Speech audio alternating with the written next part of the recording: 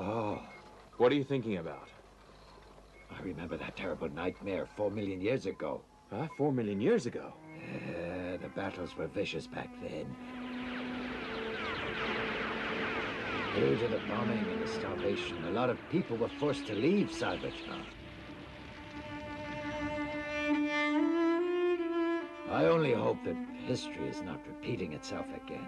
Hey, Kup. Can you just forget about the past? It's so depressing and it doesn't solve anything for us now.